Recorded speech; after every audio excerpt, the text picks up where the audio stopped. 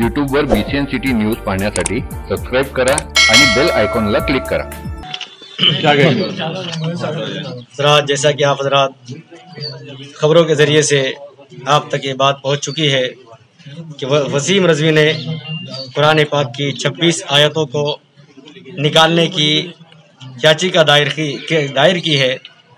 और हम आप सभी अच्छी तरीके से जानते हैं कि कुरान पाक एक ऐसी वाहिद किताब है, जिसमें अल्लाह रब्ब कदीर ने अपने बंदों को अपनी ज़िंदगी गुजारने के सलीके, तरीक़े बताए और कहीं से कहीं तक कुरान पाक की किसी आयत से जिहादियों को, फसाद पैदा करने वालों को उससे कोई मौका नहीं मिलता, बल्कि कुरान पाक मुसलमानों के लिए हिदायत, रहबरी की किताब है, पूरी दुनिया के लिए रहबरी की किताब है, पूरी दुनिया उस पर अमल करे ये समझ लीजिए कि इंसानियत की मेराज है।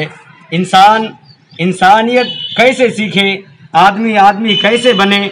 अगर इंसान वाकई कुरान पाक की तिलावत करे उसको पढ़ेगा उसका मुताला करेगा तो उसे मालूम होगा कि इंसानियत किस चीज़ का नाम है।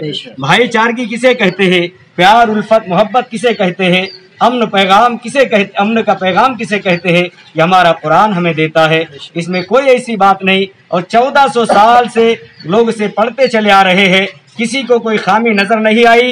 ये जालिम वसीम रजवी को 26 आयतों में खामी नज़र आ रही है। ये तो क्या इसकी सात खानदान भी अगर आ जाए तो कुरान करीम का जेर जबर भी बदल नहीं सकता और ख़त्म नहीं हो सकता। हम उसकी कड़े लफ्जों में उसके नाम से ही मुर्दाबाद के नारे लगाते हैं। वसीम रजवी। वसीम रजवी। वसीम रजवी।